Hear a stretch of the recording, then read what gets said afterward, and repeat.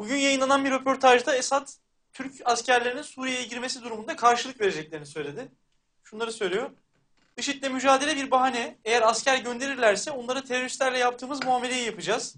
Ülkemizi savunacağız. Aynı ile karşılık veririz. Suriye'ye ne politik ne de askeri olarak müdahalede bulunma hakları var. Bu uluslararası hukuku ihlal olur ve biz Suriye vatandaşlarına düşen savaşmak ve ülkemizi savunmaktır. Ya tamam da Amerika giriyor bir şey demiyorsun. Almanya giriyor bir şey demiyorsun. İngiltere giriyor bir şey demiyorsun. Davet ediyorsun hatta. Hiç alaka Çin'den, Japonya'dan askerler geliyor. Onlara bir şey demiyorsun. E, Türkiye gelince şaşırıyorsun. İşte karşı koruz, çırpınırız, şunu bunu yaparız.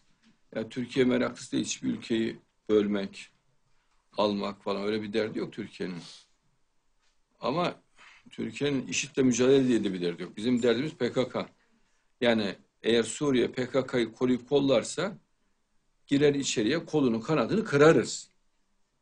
Yani ister Suriye bağırsın ister çağırsın ne derse desin. Kim çakallık yaparsa ağzını burnunu dağıtırız. Kanla, hukukla, ilimle, irfanla. Alır tutuklar hepsini getiririz. Biz burnumuzun dibinde kimseye çakallık yaptırmayız. Söyleyeyim.